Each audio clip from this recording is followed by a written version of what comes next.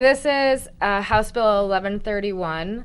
Um, it prohibits mask mandates in Okay. schools. So masks will still be optional. Uh, if people and families and students feel more comfortable wearing masks, they will be allowed to wear a mask.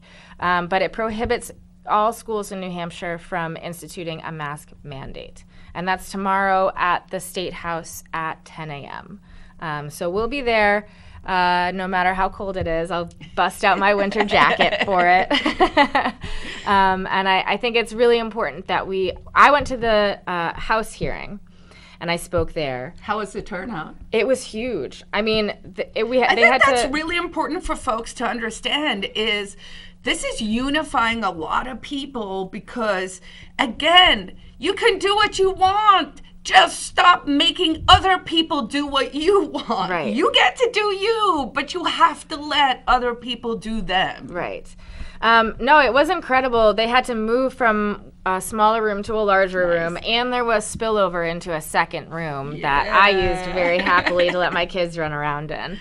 Um, and I didn't see a single person not on the committee wearing a mask. So that was really, really nice to see. Heartening, yeah. and I, I expect that we'll have a, a good turnout tomorrow as well.